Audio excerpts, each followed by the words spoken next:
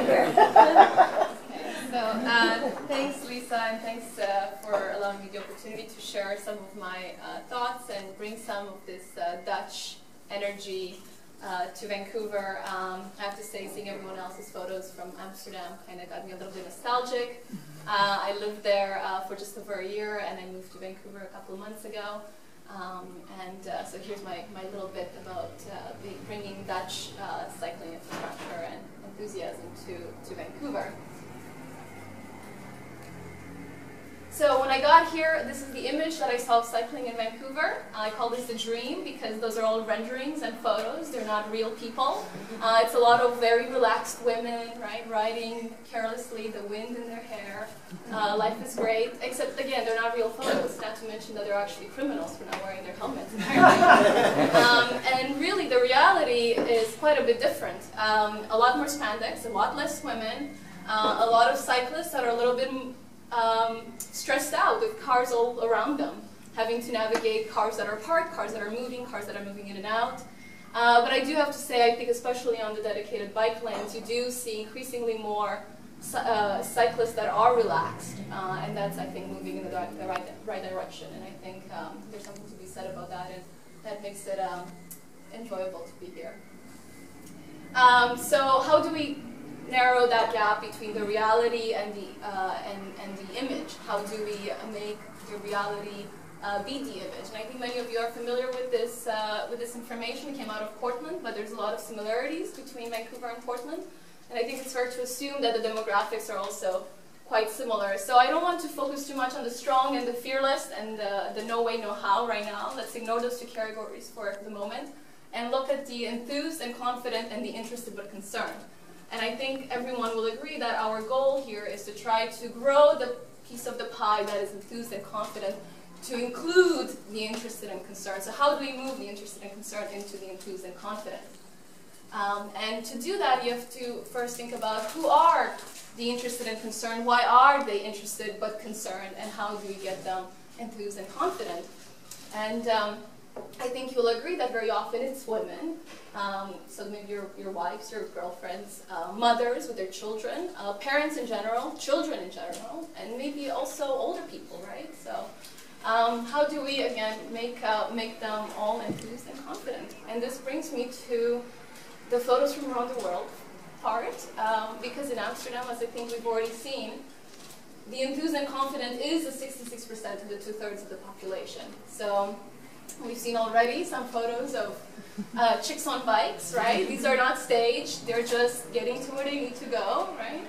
Uh, and they're not criminals either, right? They're just safe and they're confident and um, and they're also gorgeous, right? Because my my hypothesis when I got to Amsterdam was that bikes makes you sexy, right? and um, of course, I'm joking, but uh, it's it's. I think in the end, it's not a coincidence that you've got a lot of beautiful, uh, healthy, happy people, and 58% of trips in the city are on bikes, uh, inner city that is. So uh, kids on bikes and mothers on bikes and fathers on bikes, right? They also need to be safe. Um, so how, how do we get there, right? And I think we've seen a lot of examples of how infrastructure can, um, can help with that. And everyone else on bikes, right? So here you see a couple older ladies on bikes. And, and what I like about this photo is that bike-friendly doesn't have to mean car-free. So you see cars, but I can tell you those cars are not moving at 80 kilometers an hour, right? I can tell you that they're moving at a slower speed. I can tell you they're respectful of cyclists because for the most part, even if you're a motorist, you're also a cyclist at some point, so you have a respect for cyclists, even if you're not a cyclist at this certain point in time. And then everyone else also on bikes, right? Okay, so inevitably when I have this conversation with people in Vancouver, as I have for the last couple of months, people say, well, aren't the Dutch different? Haven't they always been bike-friendly? Uh, and the answer is only partially so, because here is an example of a street in the 1950s uh, you've got the cars parked on the left-hand side and the cars moving. The exact same street nowadays is for pedestrians and cyclists only. Okay, so to answer your question, how do you, how do you deal with this? Uh, unfortunately, you can't get something for nothing. The only way to do it is to eventually take some space away from cars. This is maybe the bad news, but it doesn't have to be. Okay, here's another example. How many of you have been to Amsterdam, by the way? Obviously some. How many of you have been to Nieuwmarkt? Okay. Nieuwmarkt in the center of town. Um, if you go to Amsterdam, a lot of people end up there. It's a very lively place. Most tourists will have no idea that this used to be a car-centric place. Most Dutch people themselves don't even know that this used to be used as a parking lot. And this right now is an extremely lively area, very vibrant, very human-friendly, bikes and pedestrians everywhere, uh, tons of pubs and restaurants. Um, and again, it's just impossible to imagine that in the 70s and in the 80s it was, it was used as a parking lot. Okay?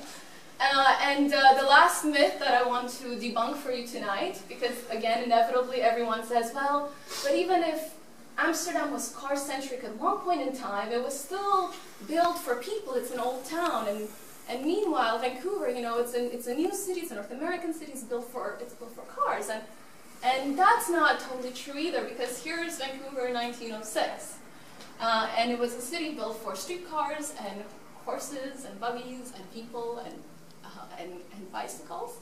Uh, and uh, we have to make a decision which elements of this do we want to keep and which ones we want to dump, right? Um, so to wrap it all up, uh, I think as Canadians, we like to pride ourselves on um, the Canadian culture of diversity and tolerance, right? So if we're going to live to that, then why would we not also uh, be tolerant and respect diversity on the road? So there should be a place for cars and pedestrians and cyclists. Uh, and I'm not talking about vehicular cyclists here, by the way. I mean a designated space for each one of these groups and respect for each one of these groups. Right? Uh, and to get there, I think we've heard a lot about the hard infrastructure, the bike lanes, the parking that is needed, the signals. Uh, and again, um, it's impossible to do it without taking some space away from cars, I believe. Uh, and then the soft, the soft part, the soft knowledge, uh, cycling education for everyone right? So adults, definitely. Kids, it, again, it's not accidental that kids uh, and adults cycle in Amsterdam and the Netherlands the way they do. Uh, they take uh, cycling is, in, is, is, in the, is implemented in their education. Uh, in elementary school, at the age of 12, they have to pass an exam to cycle the way um, teenagers pass a motorist or, or, or license um, exam to be able to drive when they're 16, I believe in. So exactly the same concept except applied to cycling, uh, and they become independent uh, And I can tell you that that has a lot to do with the way you end up with a society that's much more independent, uh, much more free, and um, much more mature because they have this independence and because they're able to get places at a young age. Uh, and uh, again, motorists, um, wrapping it up right now. Um, I've noticed uh, the motorists don't exactly respect cyclists here, right? So I don't know if Hub maybe needs to have a bike once a once a week day. I don't know if maybe that would help to try to get people out of their cars just once a week to really kind of show motorists that once you're a cyclist, you act a little bit differently, and then you take that awareness with you when you go back to being a motorist. Uh, and I think that's needed, um, along with education for everyone else, as I mentioned. So. I'll leave it at that. Um, but uh, definitely chat with me more later if uh, I'm always interested to chat more about cycling here and in Amsterdam and everywhere else. That's how you can get a hold of me. Thanks, guys.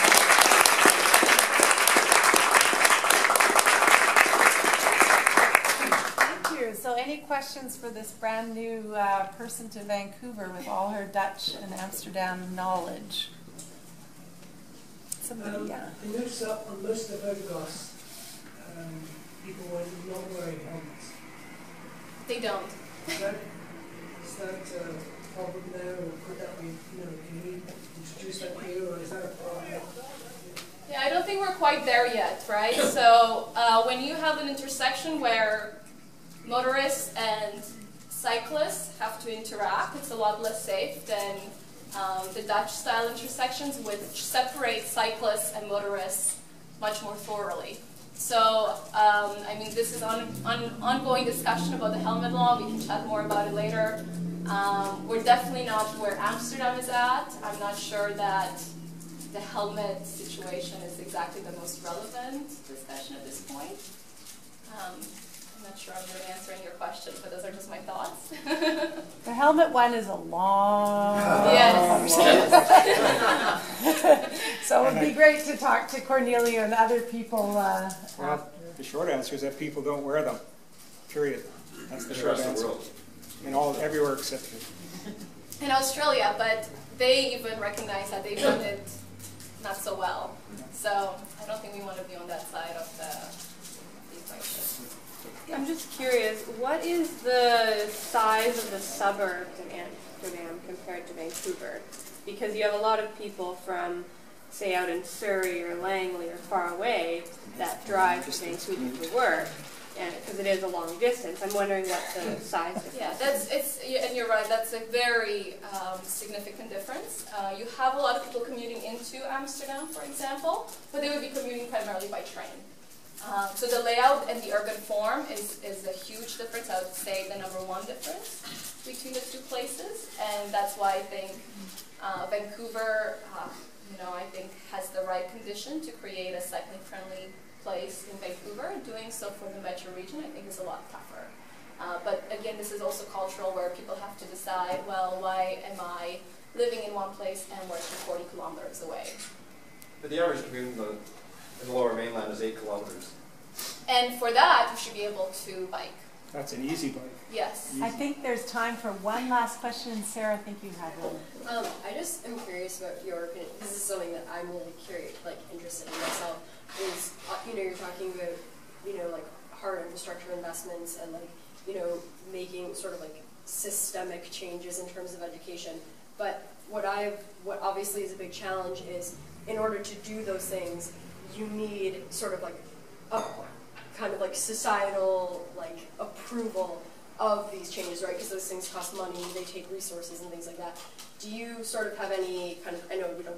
Really, I can talk to you about this after. Pretty long okay, I like, I like where it's going. I think if I can just quickly comment on that, um, and I think Arno already touched on this idea. In the 70s, there was a tipping point in the Netherlands, and it was hundreds of people in the streets saying um, that cars kill children and the environment, uh, and that they wanted to bring back a city for bikes. Uh, and I do think we need to kind of get to that point in, in Canada or Vancouver or UBC or whatever you want to call it to basically say um, we want to reclaim cities back for people. And I think that's slowly happening. Uh, and it's an exciting time to be part of that movement. My first uh, comment when I got here was, "Oh my God, I think this is what Amsterdam was like in the '70s." So, so that's a good thing. So there's the energy. Fantastic. Thanks a lot, Cornelia.